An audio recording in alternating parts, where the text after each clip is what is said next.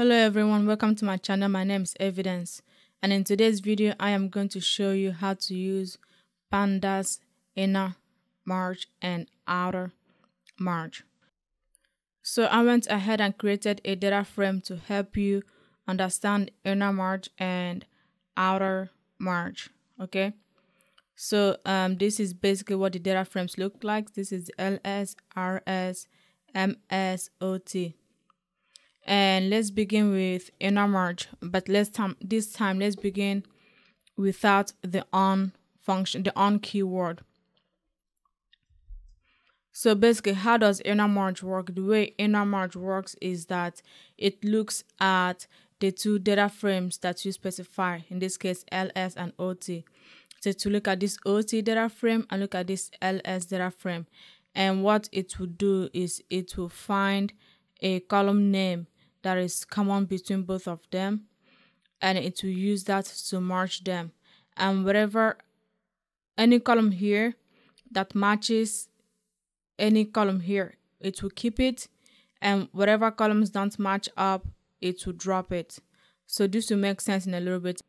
So basically the driver column here and driver column here are common. Is um common columns between both of them. And in both of those you have something like okay, you have something like Ada, you have something like Josh and both of these data frames. So that's what it's going to keep. But this will make more sense in a little bit. Just know that inner merge combines the two data frame and finds something that's common between them and drops everything else that's not common between them. And you can specify which column to use.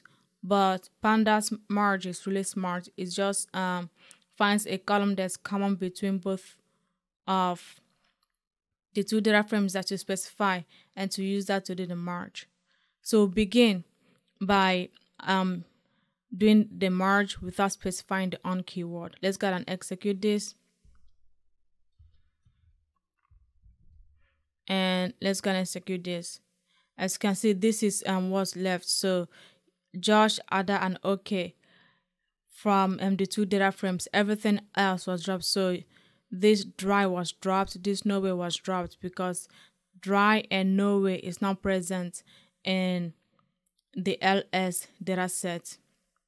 Now let's do this again, but this time let's specify which column that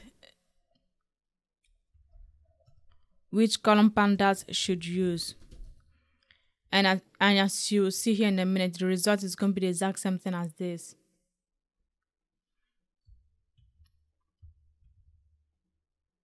As you can see, the result of this is the same thing as, the, as this and the only difference is that we specify the on keyword. So basically, what I'm trying to show you is that you do not have to specify the on keyword. Pandas infers it automatically. Now let's do this, but let's do it with outer merge. Basically, um, with outer merge, it will combine the two data frames and anything that doesn't match uh, will be replaced with NANs and to make here it make more sense once to execute this.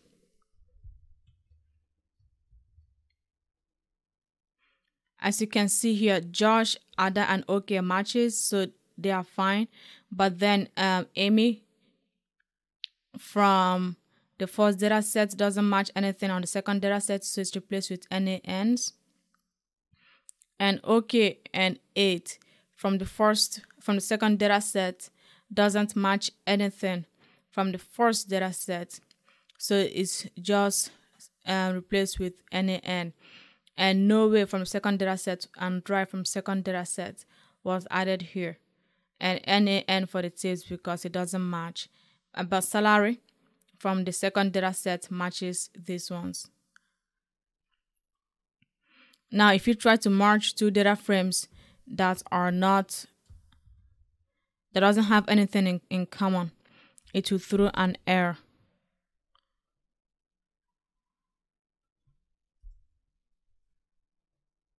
See key error.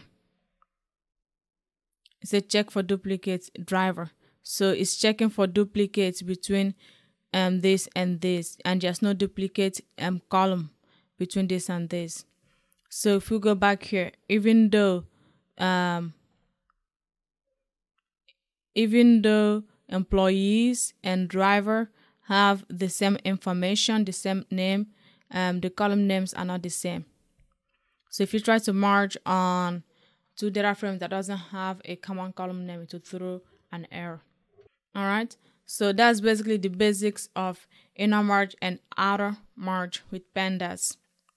If you want to read more about inner and outer merge, just go online to pandaevidencen.com slash pandas merge and I have a detailed blog post on um, the different merge functions you can do with pandas and Python.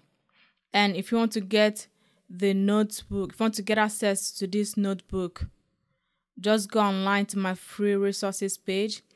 Go to machinelearningeducation.com slash free data science resources and you'll be able to get access um, to this, my free resources. So if you go here to the homepage, machinelearningeducation.com, and you go to view bundle under free resources, you get access to this, the different free resources that I have. I have data science cheat sheets, I have job and career resources, and also I have the data science tutorials. So under data science tutorials is where you'll find this Python notebook that I used in this tutorial today. If you like this video, please give it a big thumbs up and subscribe and I'll talk to you later. Bye.